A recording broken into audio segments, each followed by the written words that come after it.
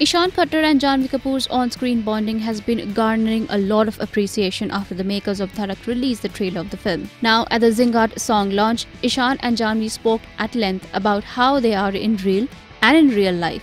They even delivered a power-packed, full of energy performance on the song and set the stage on fire. Take a look.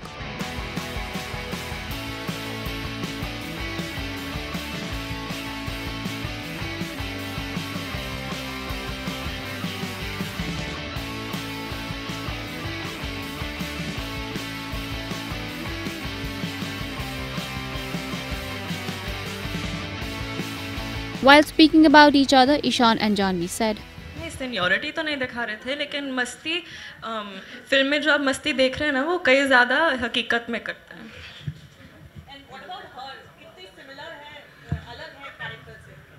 काफ़ी अलग है। uh, मुझे मुझे लगता है कि उसने अपने किरदार से काफ़ी प्रेरणा ली है। रियल लाइफ में भी बहुत ज़्यादा असर्टिव और बुली टाइप की हो गई हैं फ़िल्म के बाद।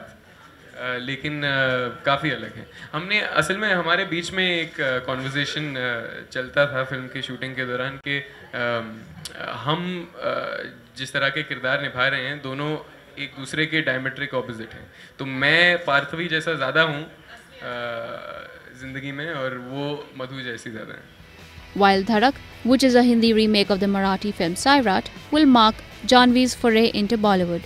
Ishan is making his acting debut with Iranian filmmaker Majid Majidi's India set movie Beyond the Clouds. IANS report.